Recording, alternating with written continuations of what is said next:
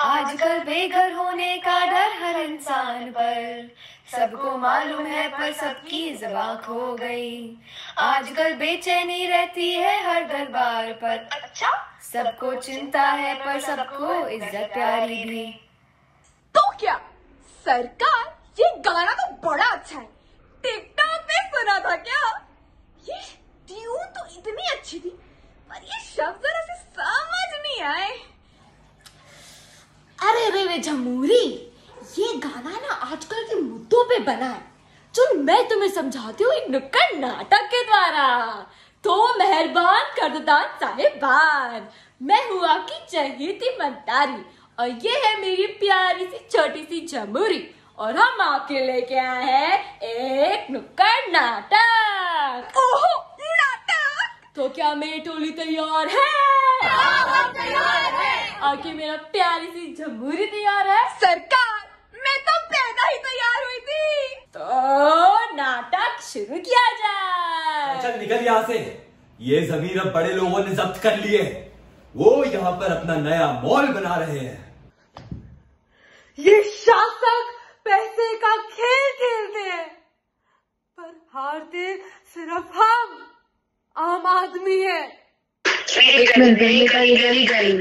पैसे की सत्ता है इस गली पे। मेरी गली नहीं रही मेरी गली है। निकाला जा रहा है मुझे गली से। जिनको हाथ पकड़कर मैंने चलना सिखाया था, आज उन्हीं ने मेरा साथ छोड़ दिया। एक बार पलट कर भी नहीं देखा, और मुझे मेरे परिवार से दूर और मेरे घर से बेघर कर दिया। अक्सर उनकी छोटी छोटी कलाइयों की दस्तकें मेरे दरवाजे पर गूंजती हैं। पर वो सपना बस एक सपना बनकर ही रह जाता है। क्यों ये दुनिया बदलती नहीं? बुज़ुर्गों का दर्द समझती नहीं। जिम्मेदार बनने से डरती रही।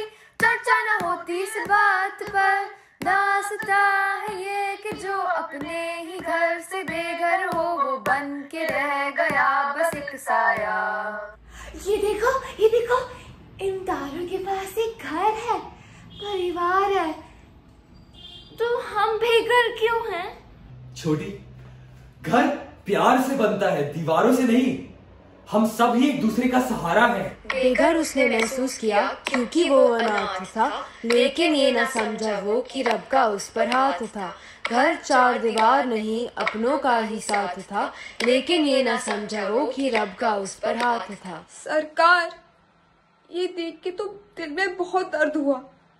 हर इंसान के पास ना एक ऐसी जगह होनी चाहिए जिसको वो अपना घर बुला पाए। अरे जमूरी ये तो सही बोली। चलो इस बात पे इसका हल देखते हैं। हमारे देश में ऐसे लाखों और लोग हैं जो ज़िंदगी भर उस एक दफ्तर के इंतज़ार में पड़े रहते हैं। हमारा भारतवासी होने का फ़र्ज़ है कि हम इन मुश्किलों को जड़ से मिटाए। हाँ ताकि कोई बेघर ना रहे।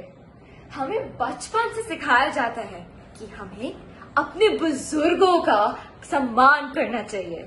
पर आजकल के युवा अपने कंधों से ज़िम्मेदारी हटाने के लिए अपने ही घर के बुज़ुर्गों को बोझ मानकर अपने से ही दूर कर देते हैं। हमारे देश में तो आम आदमी को भी अपने हक के घरों से बाहर निकाल दिया जाता है, ताकि कुछ मतलबी लोगों की लालची जरूरतें पूरी हो सके। लेकिन इन सब कठिनाइयों का हमें एकजुट होकर मुकाबला करना इतनी सी हँसी। इतनी सी खुशी कोई ना हो अकेला यहाँ। छत ये सर पे रहे, चल बनाए आशिया।